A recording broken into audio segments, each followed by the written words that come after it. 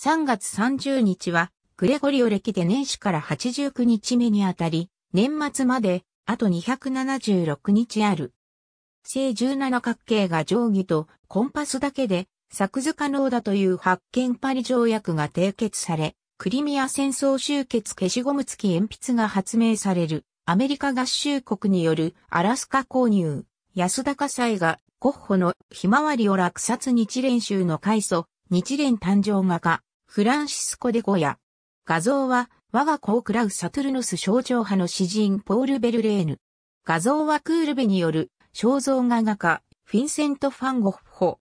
画像は、G 画像ギタリスト、エリック・クラプトンカナダ出身の歌手セリーヌ・ディオン工場、追記に優れた、防板ボツ。画像は、防板式要塞である日本の函館五稜郭画家、エリザベート・ルイーズ・ビジェル・ブランボツ。画像は、自画像アントロポゾフィーの創始者、ルドルフ・シュタイナーフランス人民戦線内閣の主犯を務めた政治家レオン・ブルム。